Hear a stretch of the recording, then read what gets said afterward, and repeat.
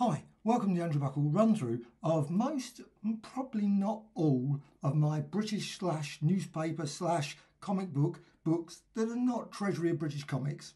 Those sort of things. Also annuals and things. Of course, if I start including everything, it'll be about a five hour uh, run through of all of the books. And I'm just going to go through sort of histories of various reference books, all sort of related to the A to Z of British newspaper strips, which I got yesterday. I thought, well, I'm just going to run through all of my books.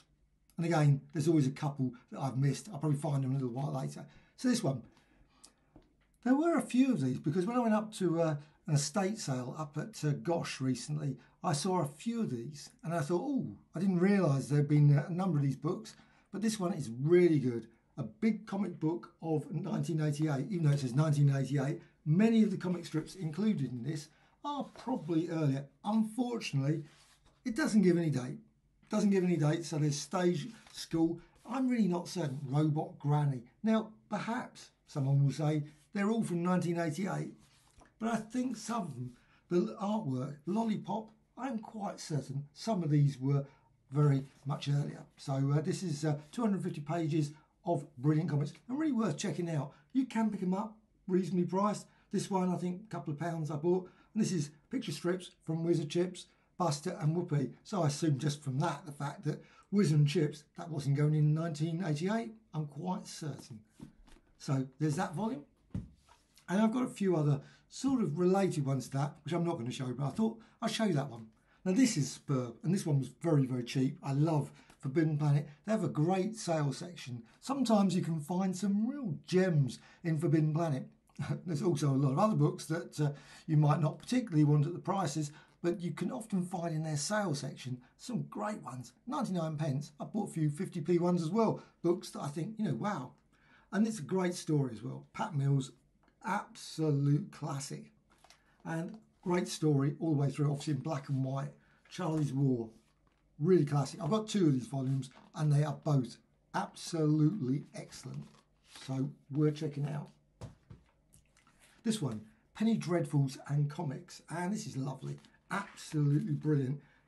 This one's actually a loan exhibition of Oldenburg University in West Germany.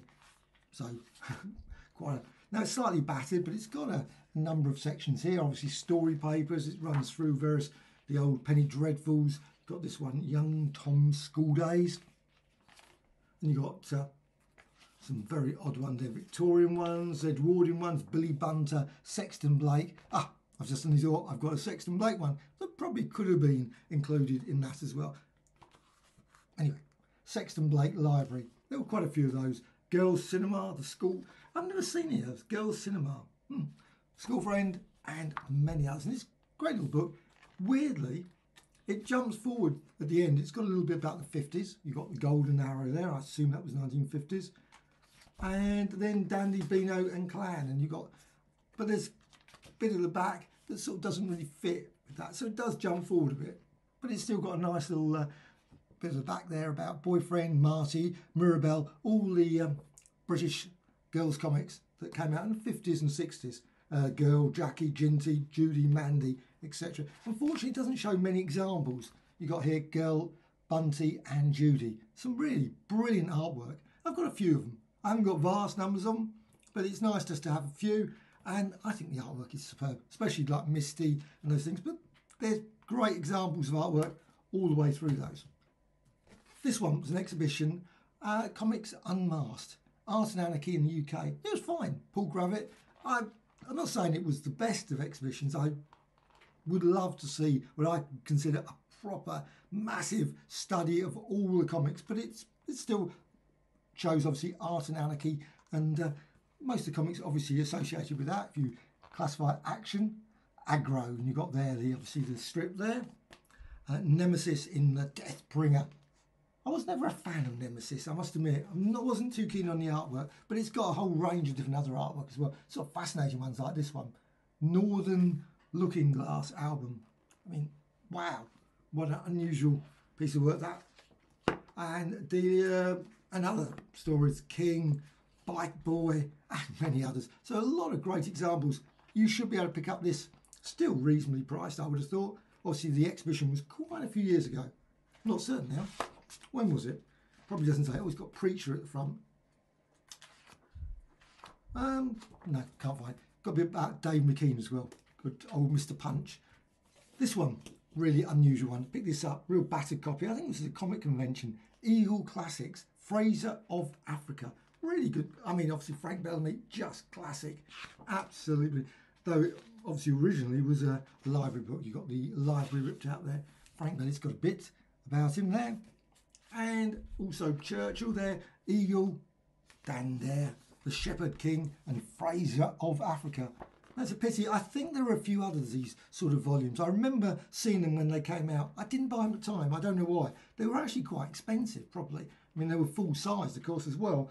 But for some weird reason, I sort of ignored them at the time. But it was £7.50. And this is uh, 1950s, 40 years after the, well, that dates it, doesn't it? So it's 1990. Now, this one is absolutely superb. Fact, Dynamite Comics produce loads of brilliant books like this. I really wish they'd bring out some more. They seem to have stopped. Before COVID, obviously COVID, there were there was quite a few.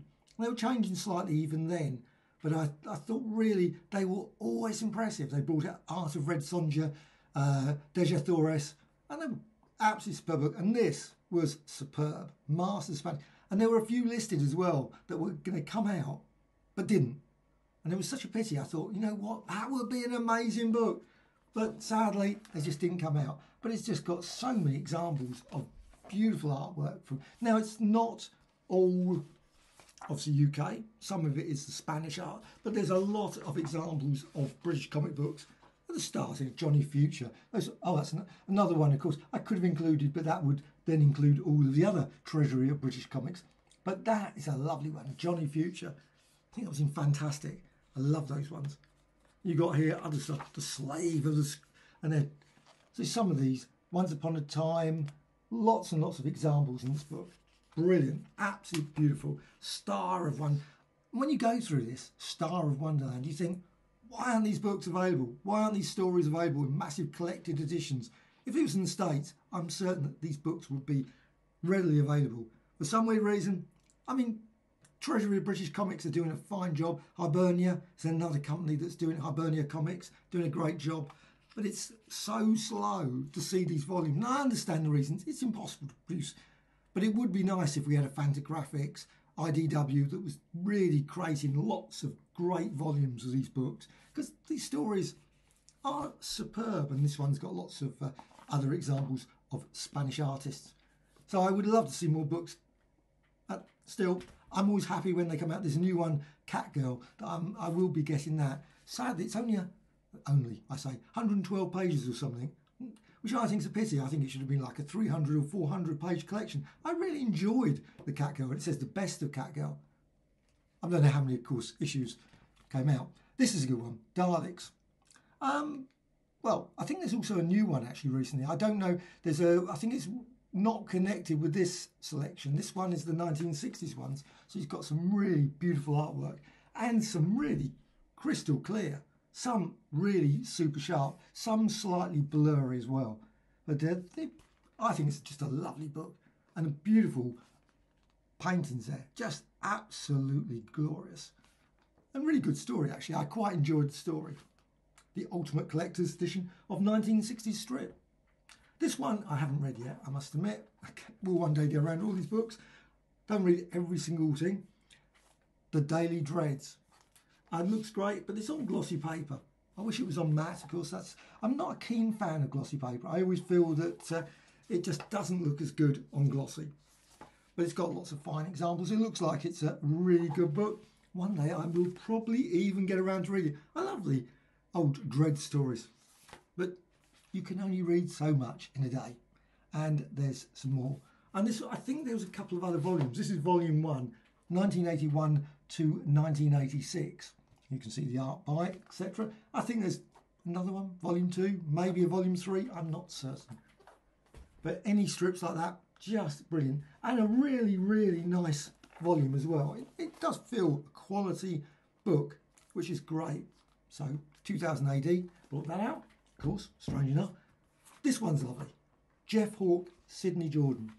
And I think it's just However, it is in French, which of course does make, but you can generally work out the story. It's not like a, a struggle to think, oh, you know what, there's an alien, there's some, there's moon landings, there's various other conflicts and problems happening. You can gen- get the general gist of the story. There's obviously some alien woman that's deciding to uh, not, doesn't look very promising exactly in that situation. But also, I think it's about like four or five strips in here, maybe maybe less, I don't know. But it's certainly a lovely little book. But unfortunately, in French, I don't know how it overlaps with the British ones. No idea. But uh, this one, Jeff, this is from uh, Charlie. Supplement, I don't know. It's weird, isn't it? Special there. However, let's get to the next one. Giles. I picked up a load of these, and I've got a few more. I, I couldn't find them all, but I did pick up quite a few. And this one, even though it says on the cover, it says there 99 pence Oxfam. I think I did buy this one from Oxfam. I bought a pile of them at my local market and they were like 25 pence each or something. And the thing is that's great about them is that they are of their time. Because there you can see the date, Daily Express, December 21st, 1965. And then you've got all the sort so you can really see the period.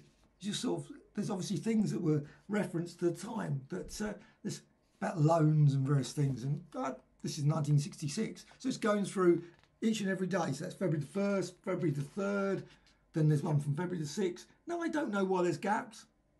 Maybe they didn't include them all. I'm not certain. February the 8th, 13th. Yes, it's possible that there were some that didn't get included, which is a pity. Would have been nice if all of them had been included. I might be wrong. Please put in the comments below. Maybe they just didn't feature on that day or something. I've no idea. I never didn't uh, regularly get Giles and read it. I mean, I remember reading, but I can't recall them particularly every single one, of course. But it's a really lovely little volume, that one. And I've got another one here, as I mentioned. This one I bought in Oxfam. This was 1967. So you've got some great little stories. Again, you can really capture the period as well. Obviously, the, the fashions, the designs, and some unusual ones as well. This one, the way it's been scanned, has it been scanned from the, the actual newspaper Whereas this one looks like it's from obviously the original because it's really quite sharp. Whereas this one is very blurry in comparison. So it's very odd. Did something get lost or something, or they weren't available? Very, very strange. This one, King Arthur and his Knights. Uh, very enjoyable, the complete adventure. And weirdly, it's also got, I think, another story in it as well. Yes, Weird. I mean, it's got on front King Arthur, the Complete Adventures, and then weirdly they don't bother mention the fact that it also includes this very enjoyable story at the back, the Swiss Family Robinson. Why? You know, you've got my, good half of it is King Arthur, and fine as it is, King Arthur's story. Obviously, though it doesn't look anything like the King Arthur story that I was watching only a couple of days ago, that was set in Roman period. This does not look very Roman, but still that was, uh, and this has got a number of other ones, like Swiss Family Robinson. And at the back, I always loved looking at these sections. You got here about the other ones, book pass, Modesty Blaise, Thriller Library, this one here, um, Worlds of Don Lawrence, and what else you've got here? No, nothing else there. But it's a nice little book. It's one of these, uh, unfortunately, it's one of these flexi bound volumes, and they always have a tendency, and I think after a period of time, to get very dented in this central bit because you read it, open it up, I'm not certain how to open them to actually avoid that. It's literally impossible. I think they, when I get them, generally they're already pre-bent, so uh, it's like really odd. But it's just a beautiful book, very nicely, nice quality, very sharp, looks great. This one is a lovely book. This is obviously comics, not newspaper strips or anything or anything, but it features lots of very unusual stuff, which is all sort of magazines and things. Many of them I have never ever seen at comic marts or at comic conventions or anywhere. In comic shops, I mean, Colorado, Western Comic, Rocky Mountain, some I have seen. Bulldog Britain, Tarzan Comic, Plastic. Now, even those ones, some of these ones, I don't think I've ever seen a copy of Plastic Man or Modern Comics, the British versions of them. From outer space come the Invisible Raiders. Nyoka, I've seen those. Seen quite a few copies of Nyoka around Marvel Family. I've got a few of those um, somewhere. Of uh, I love Miss Mar- not Miss Marvel, Mary Marvel, and all those of ones, and, they're great ones. Master Comics, but uh, most of the others, and it's got a few little strips in here as well, so that that's great. The Saint, oh wow, terrific adventure. Flash, obviously not the Flash, but you've got Flash comics. This is just a beautiful, very very thin. You should be able to pick up copies of this readily available. I just love this book. It's just so many, like, wow, how many magazines that were created and why is it virtually impossible to ever find these? These are the sort of things you'd think would turn up in Oxfams. People would be clearing out their, you know, lofts or something and they'd be thinking, you know what? Well, we just get rid because they're not, I don't think there's any real vast value. Some obviously maybe, but I don't think that I can see that. Really? You, uh, maybe I'm completely wrong, but personally, most of them are about 16 pages, falling to pieces, rusty staples, all those sort of things. Maybe that's the reason they just got dumped because, of course, they end up getting mouldy in the, you know, in the. I've, I've been to uh, places and I've seen like mouldy copies of some of these things, and you think, oh dear, horrible. I don't like mouldy comics. I must admit. You look at them and think, that's just gone a bit too far. And also rusty staples as well is another problem. I often just take the staples out, and then of course you've got pages get disconnected sometimes. Now this one, Gothic for Girls, this is an amazing little book. I love this.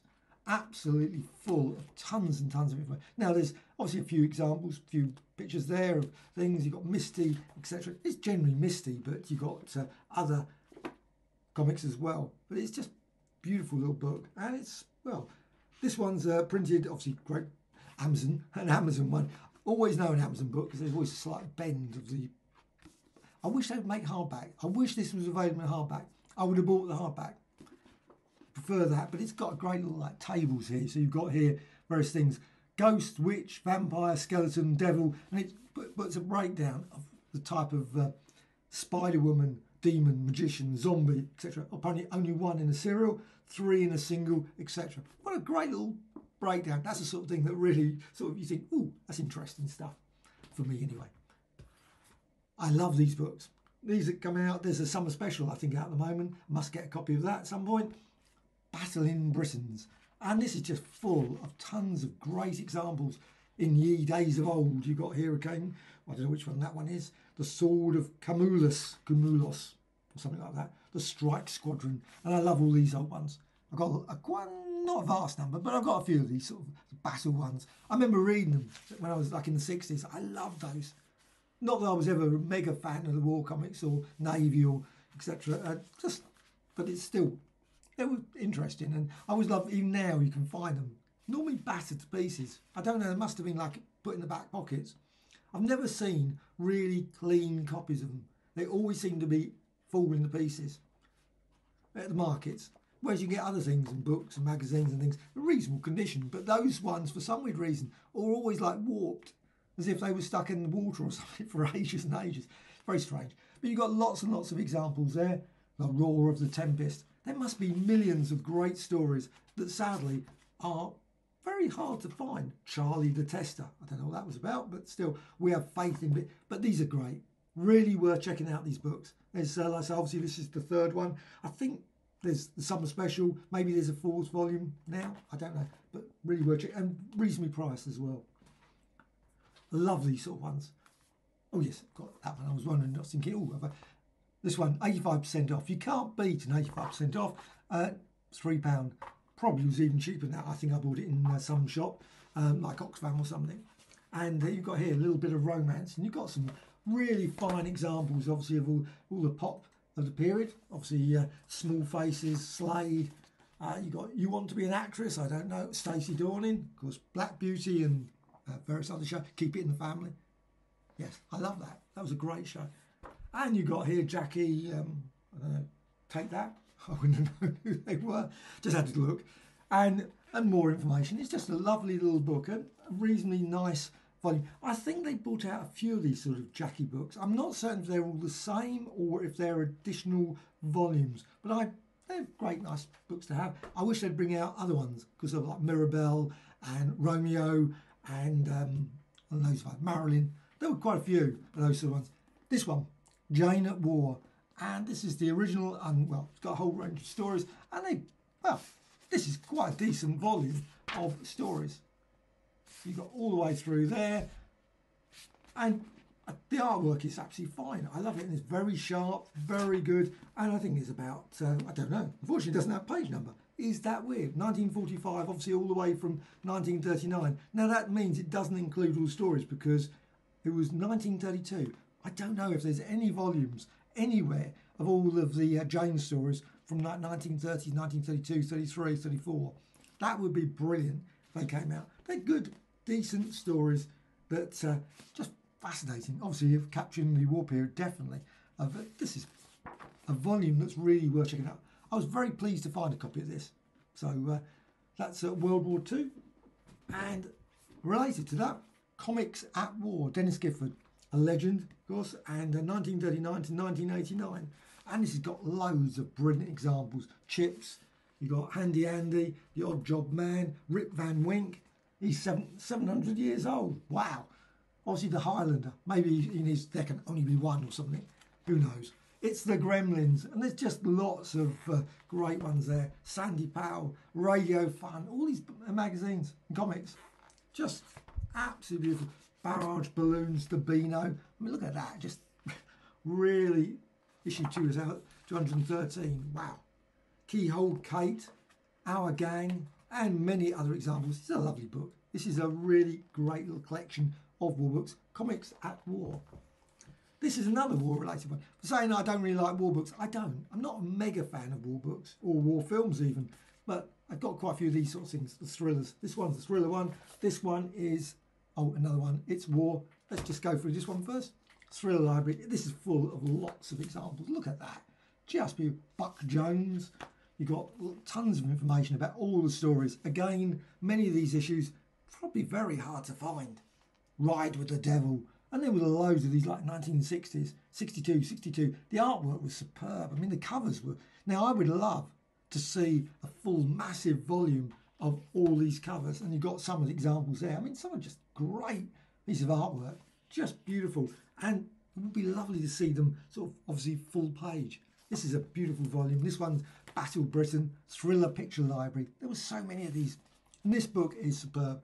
This one, Steve Holland and David Ashford definitely worth checking out. You can find copies of this, I'm quite certain. Check his uh, website, Steve Holland. He's got lots of great books. I love his Forgotten Authors, absolute classic book. Books, four volumes, masterpiece, absolutely Now this one, James May, forward by James May and uh, son, got other David Roach. David Roach did another book that I really love, and this is full of great. Again, see the examples, just really beautiful artwork all the way through. Obviously, if you're into war books. I mean, it's I think, but even if you're not, some of you still can appreciate the. But look at that, just intent. You must have, it must have used a lot of red on that one, and the green. Look at, I mean, some of it is just, and it's full. This book is just full of just awesome examples. So you really, if you love sort of any British books, this has got to be one. Best war comic cover art from Battle, War, War at Sea, etc. Superb.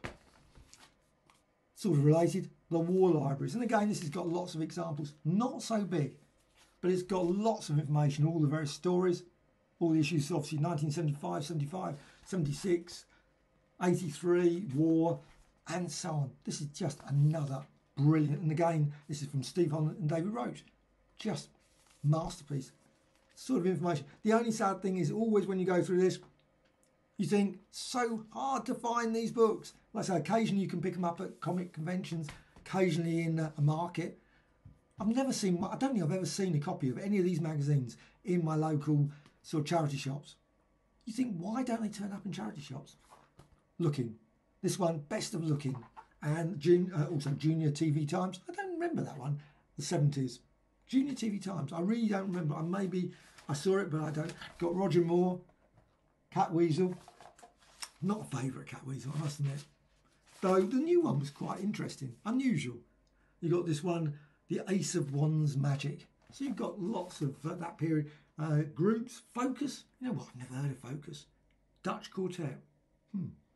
Roxy Music, of course. everyone. Blackfoot Sue. I mean, some of really brilliant. Meet the Saturday Scene Stars. And lots of Doctor Who's enemies are free, apparently. In Weetabix. Great little bit of adverts there with obviously Tom Baker and Saturday's Spectaculars, The Tomorrow People. Just great little book.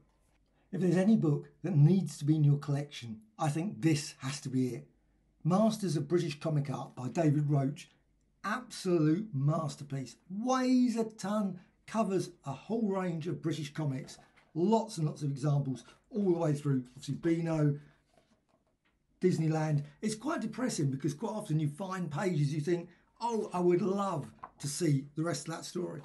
So many in here of stories that you think, oh, so hard. I've seen that sphere. Hmm, never even thought about getting that. Seen those at bookmarks. Have Commando. Many, many other examples. Oh, that one's great. Kelly's Eye. Valiant. But it's just real quality book. Girls Comics, this one, Mirabelle. You've got Daughter of the Isles. Just examples that probably very hard to get copies now of many of these. I mean, you of course can, but it's also got lots of these ones like pencil work. I mean, that's just beautiful. Evelyn Flinders, Boyfriend. And obviously some examples there of Dracula. Obviously, it doesn't just feature the British one, but it's obviously an artist there, Dracula Lives, original cover art. Now, I was worried when I bought this. I thought it's going to be all 2000 AD, all going to be Judge Dredd, mainly because of the cover. Somehow just gave me that impression. Actually, not much about Rupert. You've got Rupert on the front there, but not excessive amount about Rupert. But you've also got like When the Wind Blows and also the British invasion. You've got sections about like Dave McKean, my favourite artist. I love Dave McKean's work. And also, it breaks down by artist as well. Obviously, not every single artist has been included, but there's a considerable number of quite famous artists, but also obviously artists like this John Armstrong, who I must admit, not familiar with. So uh, it's just John M. Burns, John Byrne. I think I know of John Byrne, uh, Bob Dewar. I mean, just beautiful, just really good inked pages, as well as obviously pages from the sort of. Actually, I think that one is a. Oh wow! It's obviously the colour. It's got all the the writing all put onto it, the lettering.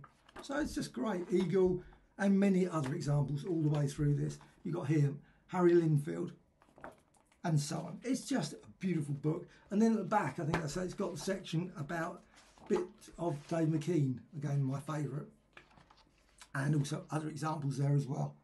So this book is just quality, absolute quality book. Masters of British Comic Art, really recommended, illustrated throughout. It, like I say, weighs a ton. This one, £39.99. I don't know if it's in print still. I hope it is. Should hopefully be able to get copies of this still. Really, this should be readily available. It's one of those indispensable books. Masterpiece. This one is very interesting. Unusual. Film fun.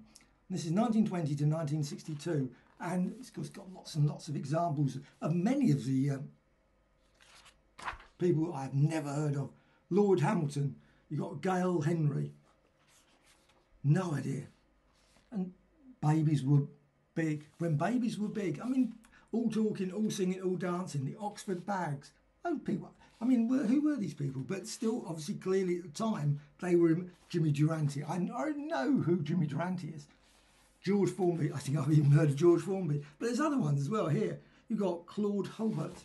Now, maybe people are turning around saying, I know who that is. You should know who that is. I don't. I have to admit, old Mother, Mother Riley, I have seen, I think Talking Pictures have got uh, some of her films on, or his films. But they, Abbott and Costello, I've heard of them. Fickle Jades, again, I'm not familiar with, celebrates 2,000 issues. 2,000 issues of film fun. And I don't know how many copies of Film Fun still exist, maybe in libraries, etc. We've got a few examples. 2,000 issues from 1920 to 1962. This is a lovely little collection of stories, even if it does feature lots of fairly obscure artists and uh, some unusual artwork and stories. Jeff Hawke. This is a lovely little book. This one I think is uh, Titan Books. And it's got uh, obviously a lovely little section at the start, giving some details, as well as some of the stories of Jeff Hawke. At least this one is in English, whereas my other copy was in French. So uh, it's, uh, but still, absolutely first-rate artwork. Really sharp, really great little strips, good stories, and really worth checking out. I think there's only, sadly, two volumes of this. Two volumes. Why didn't they produce hundreds of volumes? I don't know how many stories there were of Jeff Hawke, but they just great little ones. So worth checking out as well. This one is a very odd one. Pages from History, illustrated by C.L. Doughty. And but I love it. Really, really know anything like sort of history, Roman, sort of medieval, sort of Tudor period pirates. Great little stories. And this one's got so many comic strips. And it's, uh, oh, look at that, I mean, lovely restoration period. This one, see Charles II. just beautiful illustrations all the way through, getting more illustrations, as well as some actual strips. You've got here Potts Progress. Now, ones I must admit, never heard of. Potts Progress, I'm certain it's classic, 1743. But it's just The Crusader as well, another example of another strip. And they're really very nice quality. Very, the sword for the stat holder. Huh, okay, very interesting. So there's a lot of different strips. I wonder how many different, oh, The Black Pirate. There are quite a lot of different stories. Unfortunately, of course, whenever you get these, you end up having one or two stories and you think, oh, I wonder what happened next. What happened in the rest of the story? And of course, all you've got is one or two stories. And you've also got some illustrations at the back. But I love this little collection. This is a uh, hundred of his illustrations and four complete comic strips. So, which is nice. But it would be nice, obviously, to have even more. Of course, whenever you get them, but at least it's got four, which is great. So that's that. And for today, because I've got another massive pile of books I want to go through, but I think I'm just going to reach the point where I just can't go through British comics anymore.